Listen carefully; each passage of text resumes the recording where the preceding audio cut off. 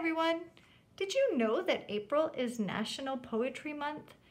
So we're going to continue our exploration of poetry by looking at the tools or literary devices that poets use to make their poems more interesting so the readers can visualize their poetry in their minds. So to do that, we're going to focus on a literary device called imagery. Let me write it up here at the top of our page.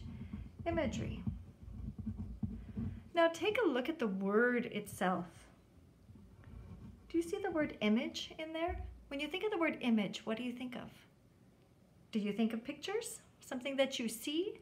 Well, imagery is a way for poets to make pictures in their readers' minds. And to do that, they use the senses. Our sense of sight, our sense of smell, uh, our ability to hear, touch, and taste.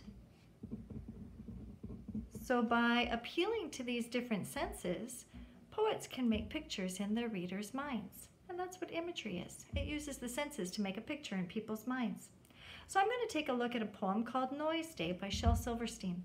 You can look up um, on Google who Shel Silverstein is and look at some of his poetry. He's an incredible poet and writer of stories. Let's hear the poem.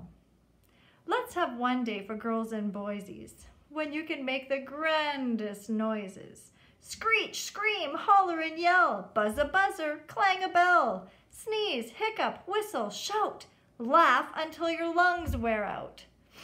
Now let me ask you, what sight was being, what uh, sense was being appealed to in this poem? Did you think maybe your sense of hearing? And if you did, then you are correct. Look at the key words. Screech, scream, holler, even the word noises is in there. In fact, almost this whole poem allows you to hear what the reader wants you to hear, um, what the poet wants you to hear for this poem. Here's another one, Fireflies by Evelyn Stein. See what sense is being appealed to here. Look, look down in the garden how the firefly lights are flitting now. A million tiny sparks, I know, flash through the pinks and golden glow and I am very sure that all have come to light a fairy ball. And if I could stay up, I'd see how gay the fairy folks can be. Now, what sense do you think was being appealed to here? Here's a key word. That's right. It's your sense of sight, your ability to see. All right, so here's the things that I see. I see a garden with fireflies. They're flitting or flying about. A million tiny sparks, colors of pinks and a golden glow.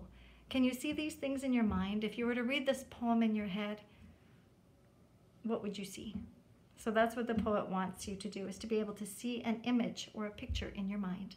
Okay, so I'd like you to take from your learning package, uh, your poetry booklet. You should have this page in there.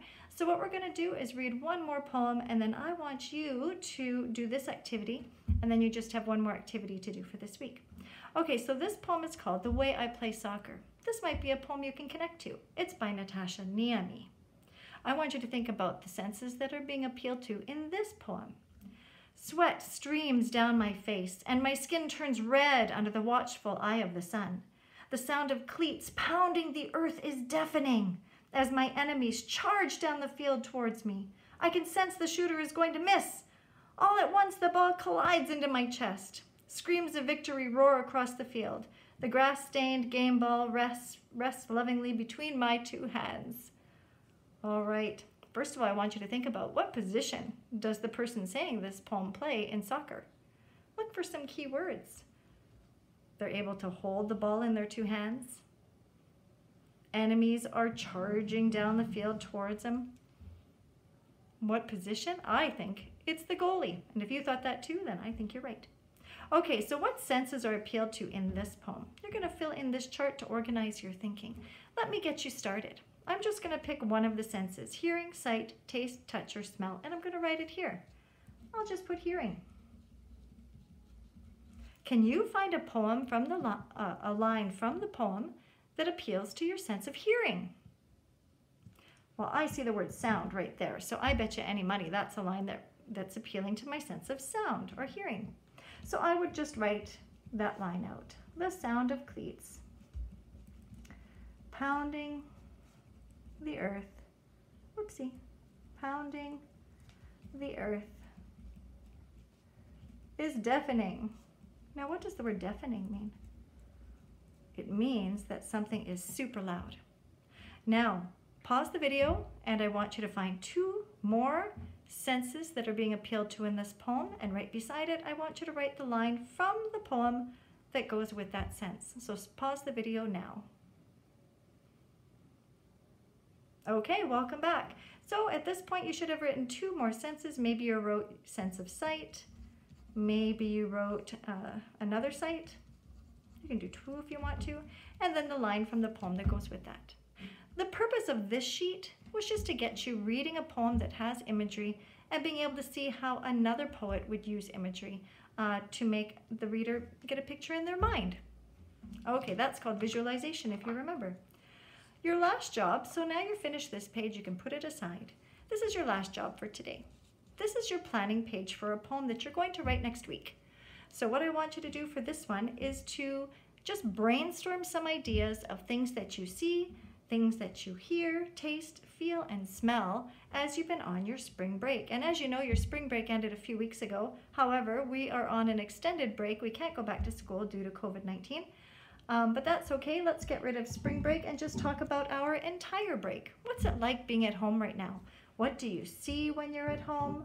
What do you hear while you're at home? Taste, um, feel, and smell. You don't have to talk just about spring break. Let's just talk about our break in general. Okay, so when you think about things that you see while you're on your break, you might list things like um, you see, I see computer screens, frankly. I've been making that website, so that's one thing I've been looking at a lot. I see empty streets because everybody is safely staying home. Those are just two ideas that I have. I bet you can list a whole bunch of other ideas of things that you see while you are currently on your extended break from school. What kinds of things do you hear while you're at home? Well, things that I hear are people working. I'm working, my husband's working, and my children are working on their homework. So I hear people working, asking questions about um, things going on at work, going to meetings even. I hear uh, kids playing in the backyard. Kids are still going outside, but they're staying in their own spaces. Kids playing outside. And why don't you list a whole bunch of things that you hear right now while you are on your break at home away from school. These are just a couple ideas that I have, but see if you can come up with some different things of what you hear while you're at home. What do you taste while you're at home? Well, for me, I'm tasting a lot of home cooked meals. We don't go out to eat anymore and I have cooked more than I've ever cooked in my life. So there, I'm tasting a lot of home cooked meals. And you know what? I'm also tasting freshly baked bread. Baked bread. And I bet a lot of you are tasting that as well. Why don't you think of the things that you've been tasting while you are on your extended break? What does it feel like? Well, I'm a little nervous on this break. I don't know what's going to happen next. It makes me feel a bit uncertain. I'll put that too. But one thing that I do feel is very grateful. I'm grateful that I'm healthy. I'm grateful that I have a job. I'm grateful that my family is with me. I'm grateful that I can see my, my other family while video conferencing. So there's many things that I'm grateful for. What does it feel like for you being on your break? What emotions do you have while you're on your break?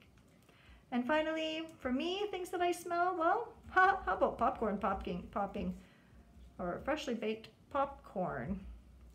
Because we've been watching so many movies lately. I've been making a lot of popcorn. Oh, I've also been making cookies and muffins.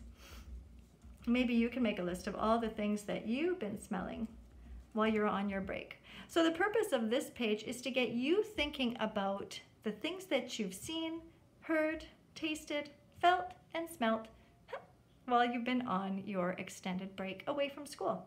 I want you to just list, just like I did, you don't have to copy these words, please. Come up with your own. Things that you see, list them here. You don't have to write full sentences. Things that you hear. You don't have to write full sentences. Just use the point form, please, just like we do at school. I want you to get as many ideas as you can, and we are going to use those ideas next week to write a poem based on imagery. So please get this page done today that talks about the different um, parts of a poem that appeal to senses and get your planning page done today. Okay, that'll actually be, be due by next week, Thursday. Make sure this is done because you're going to be writing your poem next week. Okay, that's all for now. Bye.